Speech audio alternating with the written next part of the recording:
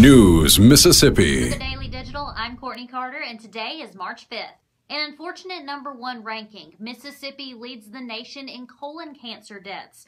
Now, we spoke with Dr. Aline Sharabati, and she says that there is some good news. Colon cancer is preventable. Get your screenings, get your colonoscopies, and they can find these polyps. And when those polyps are removed, that can reduce your risk of colon cancer.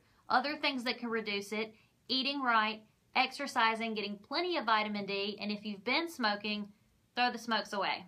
Redirecting oil money in Mississippi. The Obama administration proposes an end to revenue sharing among the Gulf states when it comes to offshore drilling. Now, what this can do is take 37 cents of every dollar away that comes into Mississippi from leases on the offshore rigs. Senator Thad Cochran says that this proposal is absolutely offensive and that he's going to unite with others to stand against it.